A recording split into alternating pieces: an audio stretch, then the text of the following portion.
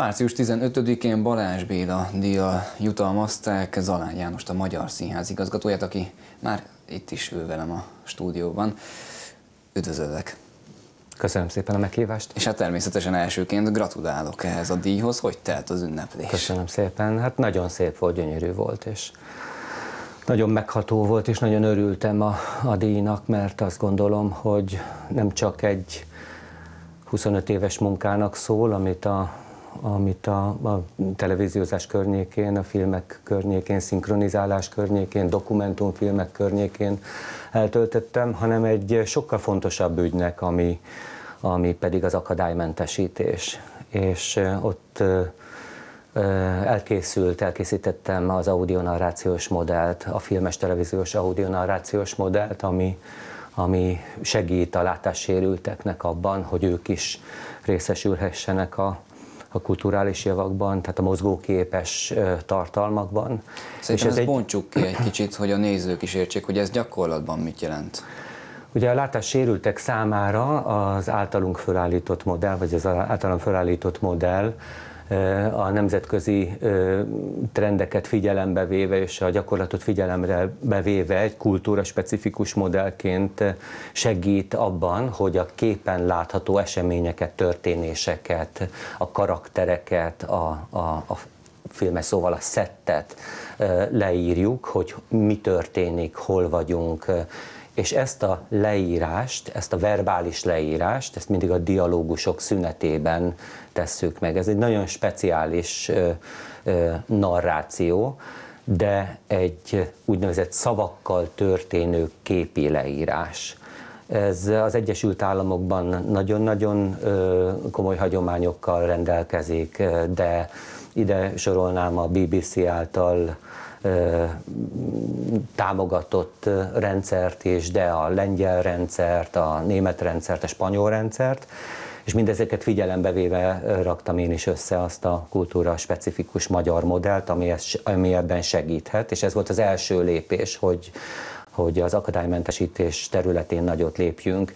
Andy Vajna nagyon nyitott volt arra, hogy ezt a modellt bevezessük, és a, a mozifilmeket már látássérültek is nézhessék. Ugye amikor látássérültekről beszélünk, ugye akkor egy nagyon nagy ö, ö, számú embercsoportról beszélünk, és nem csak a vakok tartoznak ide, hanem a látássérülés fokától függően a gyengén látóktól kezdve az alig látókon át, az új alolvasókon keresztül, a fényérzékelőkön keresztül sok-sok ember érintett ebben a problémában, és az ő számukra is az audiovizuális tartalmak, vagy, vagy a filmek köznyelven szólva elérhetőek lettek volna. Németországban már ez ez a program jól fut, Nagy-Britanniában nagyon jól fut, és mi is közel vagyunk ahhoz, hogy ezt bevezessük. Ez egyébként is fontos, mert a magyar filmek forgalmazhatósága szempontjából egy hozzáadott értéket jelent. Amikor egy magyar filmet külföldre értékesítenek, akkor a magyar script mellé készül egy úgynevezett audionarrációs script is, amit aztán az adott nyelvre lefordítanak. Ugyanez történik nagyon sok esetben, amikor a, például a National Geographic filmeket adják el a világ különböző területeire, tehát ott a, az eredeti script mellé ma már biztosítják az audio narrációs scriptet is, pontosan azért, hogy ez egy könnyebbség legyen. Ahol pedig nincs meg ez a script, ott el kell készíteni ott meg kell csinálni, és komoly szakemberek munkájával együtt létrejön egy ilyen, egy ilyen szavakkal leírható képi világ transformálására alkalmas forgatókönyv. És akkor ebben a 25 éves pályafutásban nyilvánvalóan ez, egyik, ez az egyik nagyon fontos pontja, amiről most beszélgettünk. Ezen felül mi az, amire még ö, talán a legbüszkébb vagy? Bocsánat, azt még hozzátenném, hogy ugye a Pesti Magyar Színházban is folyik audionarráció, és ezt nagyon kevesen tudják, hogy a, a Pesti Magyar Színházas audionarrációs modell alapja ebből a filmes modellből származik. Fontos elemeit emeltük át a, az előadó művészet terére, és ugye a Pesti Magyar Színházban több mint 250 előadáson vagyunk túl, amit élőben narrálunk a látássérülteknek. Erre nagyon-nagyon büszke vagyok, ez egy egyedülálló program Magyarországon is, ennek én vállaltan az élharcosa vagyok. Az én célom az, hogy lehetőség szerint záros határidőn belül az összes magyarországi színházban elérhető legyen ez a szolgáltatás. Ahhoz viszont arra van szükség, hogy képezzünk szakembereket, megismertessük a szakembereket ezzel a módszerrel, és valóban az a szocializáció, ami ehhez az ügyhöz kapcsolódik, az több hangsúlyt kapjon. Mit értek ez alatt? Ugye a mi programunkban a látássérültek integrált körülmények között vesznek részt a, az előadásokon, tehát nem külön csinálunk előadásokat látássérülteknek és épp nézőknek, hanem, hanem együtt közösen ülnek a nézőtéren, és a, az épp nézőknek is meg kell tanulniuk azt, hogy vannak mások is a, a nézőtéren, el kell fogadják azt, hogy adott esetben ők a saját mobiltelefonjukon keresztül egy fülhallgató segítségével, vagy az általunk biztosított eszközök segítségével kapcsolódnak bele az előadásba. És, és nagyon bátorítjuk a látássérülteket, hogy jöjjenek el, és, és tényleg ezt a, ezt a lehetőséget használják ki, de itt komoly sikereink vannak. Arra nagyon büszke vagyok, hogy Németországból is érdeklődtek már a, a, a színházi audionarrációs modellünk iránt.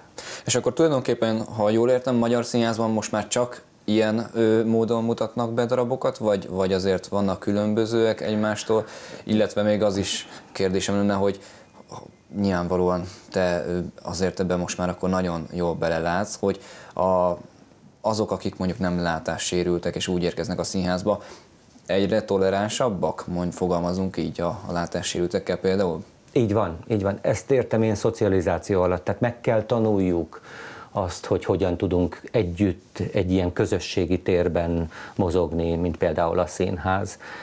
Nem egyszerű, hiszen ugye a látássérülteknek több időre van szükségük például, hogy elfoglalják a helyüket hogy, hogy oda vezessék őket a székükhöz. És e, ezt, ezt meg kell tanulni az épp nézőknek is. Illetve azt, hogy ők éppen nem telefonoznak és nem SMS-eznek, hanem, hanem az okostelefon segítségével kapcsolódnak be az előadásba.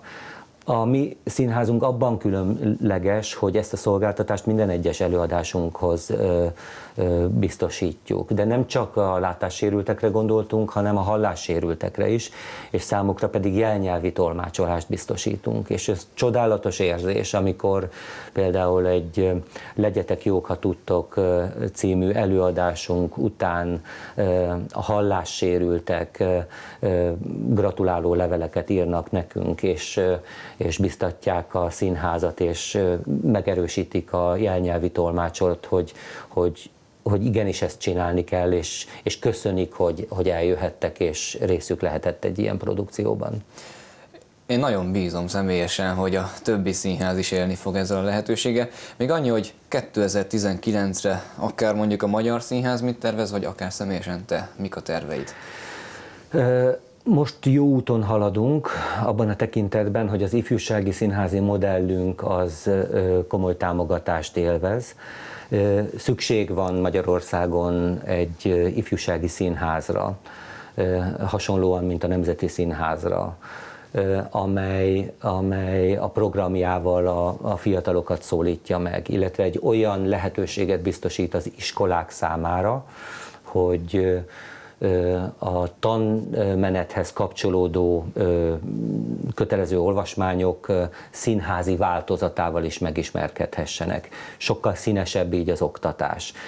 Nagyon-nagyon bízom abban, már a pilot programon dolgozunk, hogy a Lázár Ervin program, amit a kulturális önkormányzat, kulturális vezetés meghirdetett, hogy minden gyerek jusson el színházba egytől 8.